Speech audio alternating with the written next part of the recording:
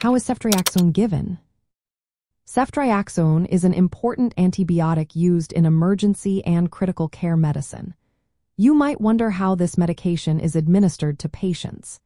Ceftriaxone can be given in two main ways, by intramuscular injection or by intravenous injection or infusion.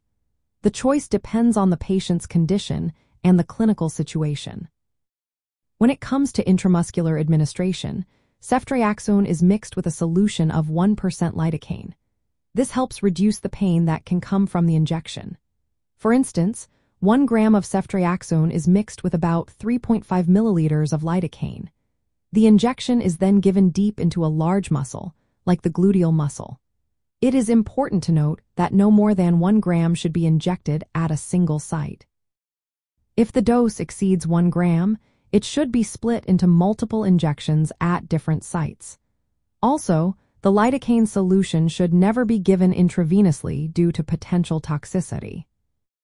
On the other hand, ceftriaxone can also be administered intravenously.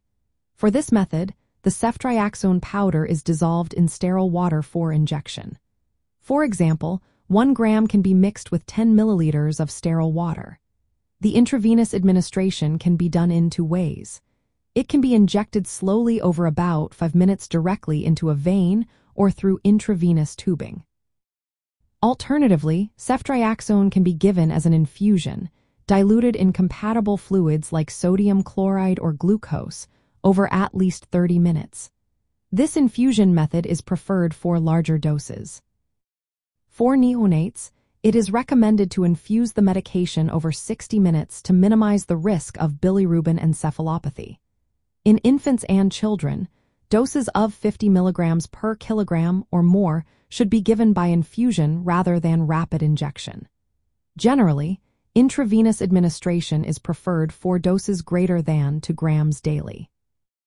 It is crucial to remember that ceftriaxone should not be mixed or given at the same time as calcium-containing solutions in neonates, as this can lead to serious complications.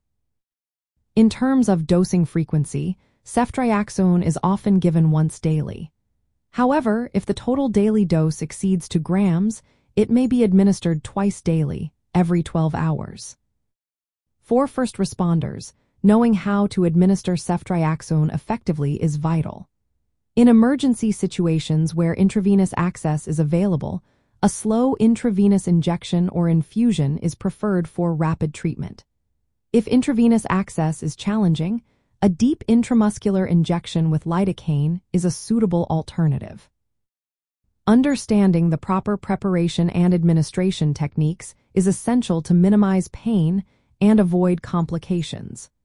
Always consult with healthcare professionals for personalized medical advice, as individual patient needs can vary significantly.